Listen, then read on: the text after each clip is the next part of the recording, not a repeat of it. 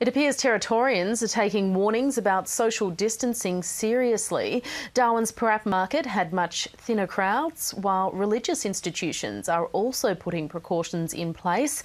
They're planning to extend their public support services beyond their usual congregations.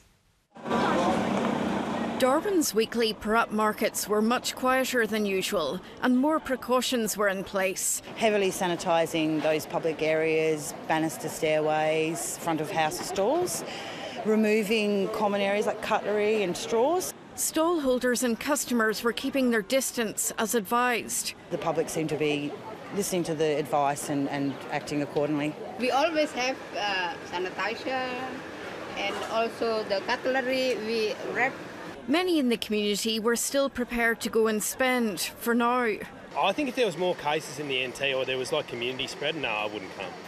I'm not in worry mode yet. I haven't gone to supermarkets and gone crazy. I'm trying to just avoid that, trying to not, not feel overwhelmed by, I think, the whole thing. Some are taking other measures to try to stay healthy. Just not going out, I guess, not going clubbing, staying indoors, yeah.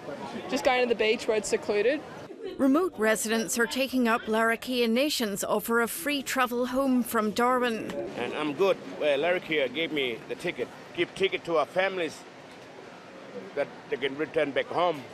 At indoor shops and charity sales, more hygiene was being enforced. We are asking all customers to come in to the shop in the hall to hand sanitise. Tomorrow will be the last day for public services at many churches and we'll be observing all social boundaries and physical distancing uh, as prescribed. After that, many will offer services online. We are going to be uh, filming our Sunday Mass at 9 o'clock every Sunday on Aboriginal radio.